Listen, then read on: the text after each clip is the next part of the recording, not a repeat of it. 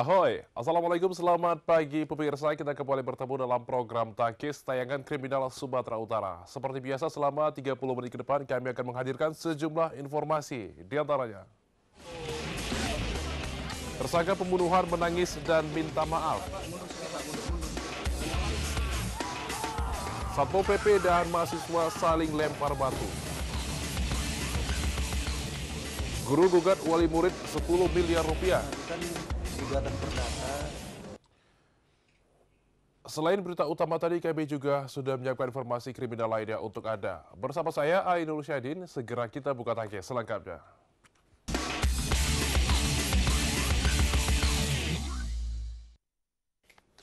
Ya pemirsa, di Treskrimum Polda Sumut bersama Polres Deli Serdang berhasil menangkap dua pelaku pembunuhan satu keluarga yaitu AG, otak pelaku pembunuhan tewas ditembak, sedangkan tersangka RO dilumpuhkan timah panas di bagian kakinya. Di hadapan Kapolda Sumut, tersangka RO menangis dan meminta maaf atas perbuatannya.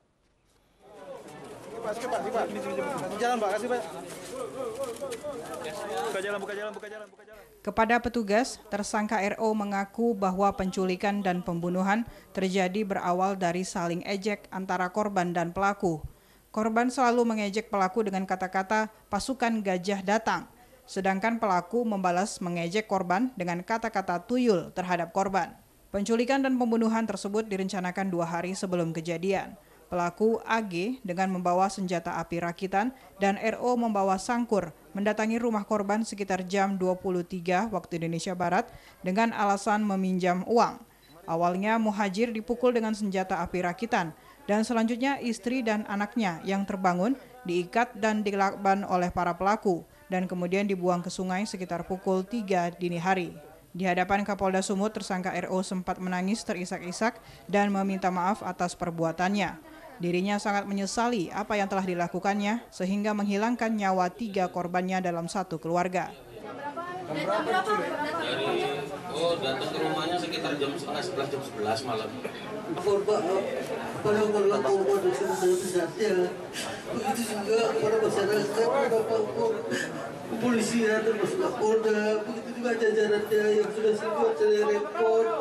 Saya minta izin, minta maaf tempatnya itu di akhirat. Mudah-mudahan saya akan berbuat lebih baik daripada sebelumnya. Mudah-mudahan maaf saya diterima oleh keluarga korban dan seluruh masyarakat, begitu juga jajaran kepolisian. Aja dia. Untuk mempertanggungjawabkan perbuatannya, para pelaku dikenakan pasal 340 Junto 338 dengan ancaman hukuman mati atau kurungan penjara seumur hidup. Dari Medan, Aminur Rashid, iNews melaporkan.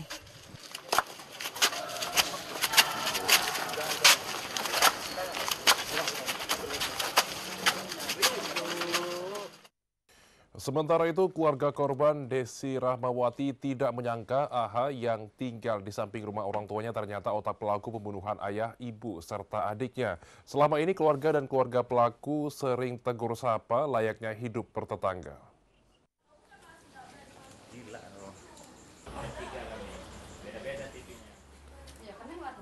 Dua minggu melakukan penyelidikan, akhirnya petugas kepolisian berhasil mengungkap kasus penculikan dan pembunuhan terhadap Muhajir, istri dan anaknya di Desa Bangunsari, Kecamatan Tanjung Merawah, Kabupaten Deli Serdang. Ketiga tersangka masing-masing AH, RO, dan DN diamankan.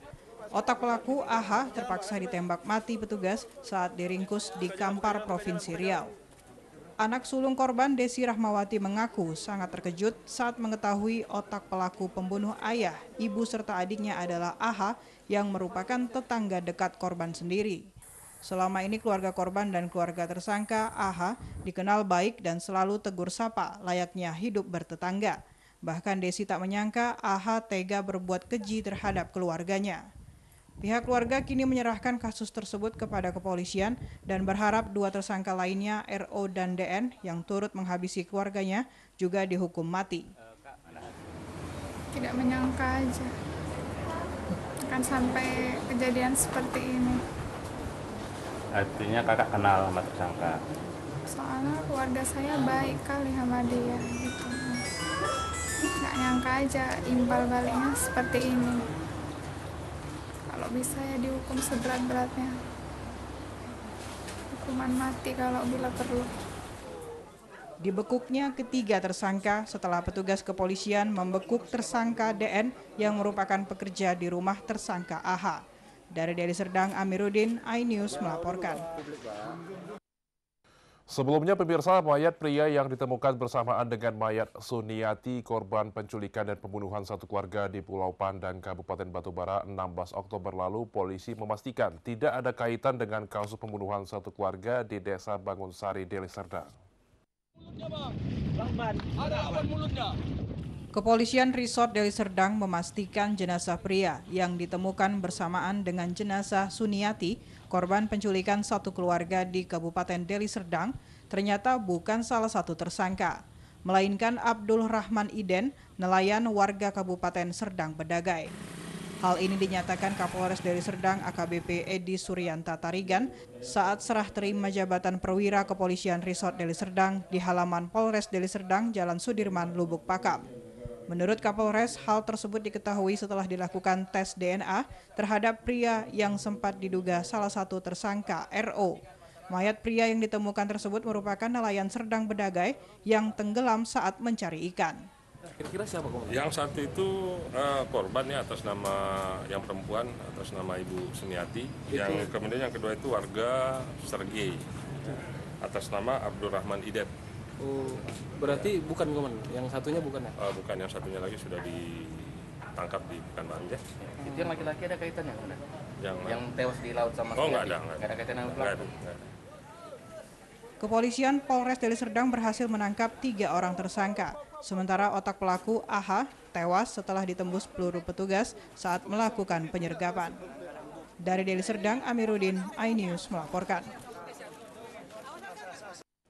Beralih ke berita lainnya, pemirsa, setelah satu hari satu malam dikabarkan hilang, seorang balita berusia tiga tahun Senin sore ditemukan tewas pengambang di tepi sungai Tangkahan di desa Masjid Lama, Kecamatan Talawi, Kabupaten Batubara.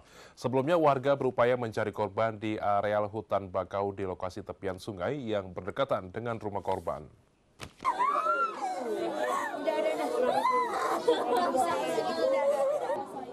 Isak tangis keluarga pecah ketika jenazah Muhammad Eryadi, bocah berusia 3 tahun, diantarkan warga ke rumah duka. Bocah 3 tahun, anak dari pasangan Irfan dan Ayu, warga desa Masjid Lama di Kecamatan Talawi, Batubara, se- sebelumnya dikabarkan hilang sejak satu hari lalu.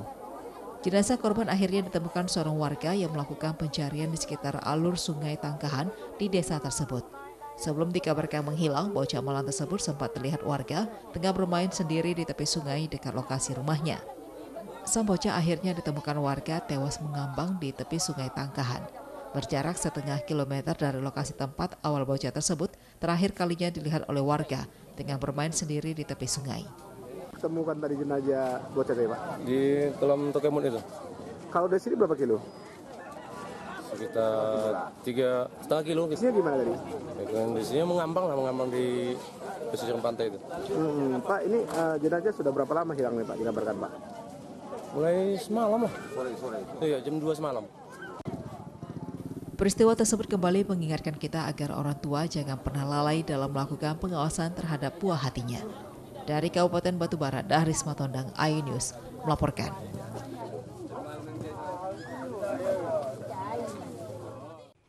Satpol PP dan mahasiswa bentrok. Berita selengkapnya sesaat lagi tetaplah di Tangkis.